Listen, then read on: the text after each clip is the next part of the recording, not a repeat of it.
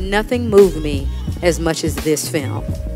I was literally in tears after I read it. I was upset. One, because I had never heard of Katherine Johnson. I had never heard of Mary Jackson. I never heard of Dorothy Vaughan. They literally were hidden from me as a black woman. I had no clue who they were. We need to change that. And I think this film is going to make us look and really assess how far have we come.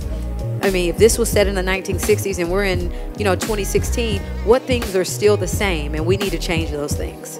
This movie is fresh. We've never heard about brilliant, smart women literally who changed the world. They helped America win the space race. So make sure you go and see it. We want to make sure that we're getting everybody on board so that these stories will be hidden no more. And I mean, the world is changing as we know, and I think it's time that we show younger girls, younger than me, that they can change the world too. Your circumstance does not have to be your future.